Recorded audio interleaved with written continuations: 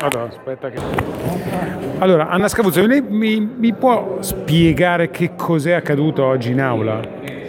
Oggi abbiamo perso una grande occasione perché non aver votato positivamente la delibera che accoglieva l'accordo di programma per gli scali ferroviari significa perdere l'occasione di un'enorme riqualificazione per la città di Milano. Parliamo di oltre un milione di metri quadri che attualmente sono eh, il sedime degli scali non più utilizzati e credo che questo sia veramente un, un peccato per la nostra città.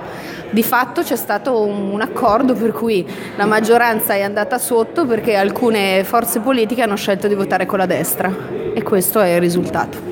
Ecco, se non sono indiscreto le chiederei quali forze politiche. Sì, è agli atti, quindi non do nessuna informazione non pubblica. Rifondazione Comunista, i radicali e Biscardini che non so bene di che partito sia, insomma, forse un socialista, non ho capito.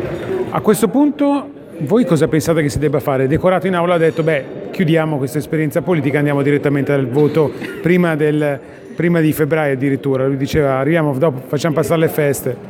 No, beh, Decorato fa il suo mestiere, sta all'opposizione, quindi è ovvio che debba calcare la mano. Politicamente noi teniamo, la maggioranza vuole andare avanti, porterà questa città al voto come da scadenza amministrativa. Il clima che si respirerà a questo punto nei prossimi mesi quale sarà? Cioè nel senso riuscirete a ritessere un rapporto e ad una, a fare una sintesi politica perché il Comune di Milano possa rivivere quell'esperienza che cinque anni fa vi ha portati al governo? Certo, però forti dell'esperienza di governo, che significa responsabilità e capacità di portare a termine quelle che sono le promesse elettorali. Questa deve essere la differenza. Oggi abbiamo perso l'occasione, per colpa di alcuni, di non portare a termine una promessa importante che metteva le basi per un futuro sul quale torneremo, perché ovviamente questa è una partita che non abbandoniamo. Ci vorrà dell'altro lavoro, è un accordo che è costato tre anni di lavoro.